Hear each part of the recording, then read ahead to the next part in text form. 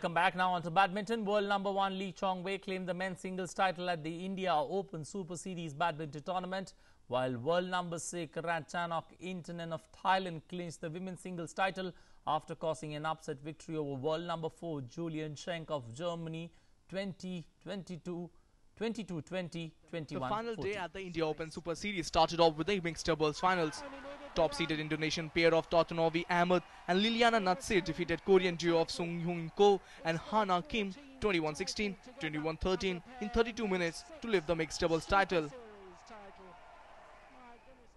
Meanwhile, in the women's doubles final, four-seeded Japanese combo of Miyuki Maeda and Satoko Suetsuna registered an upset victory over second-seeded pair of Christinna Pedersen and Kamilla Juhl of Denmark 12-21, 23-21, 21-18 in an hour.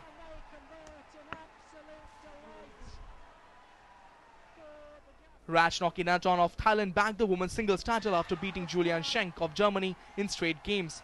It was an upset victory as the world number 6 got the better of world number 4 of Germany 22-20, 21-14 in 44 minutes. In the men's singles, world number 1 Lee Chong-wei faced a stiff challenge, but in the end stamped his class to prevail over Kenichi Tago of Japan. Lee took an hour and 2 minutes to overcome his world number 9 Japanese opponent 21-15, 18-21, 21-17 at the Siri Fort Sports Complex.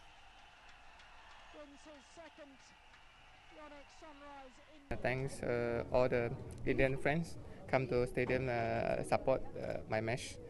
I know today is very tough in a rubber game, and uh, last year I lose in final. This year I win back. I'm very happy for my performance for this year. We do very well in India, and uh, everything is fine. And uh, I'm very happy and come to India every year.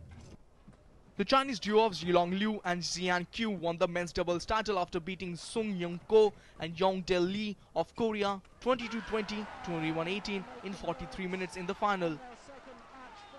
Even though there was no Indians in the final of the Indian Open Super Series, yet the crowd thronged at the stadium and once again proving the fact that with given infrastructure, the game has a bright future in the country. With cameraman Yogesh Kumar, this is Tapas Bhattacharya, DD News, Delhi.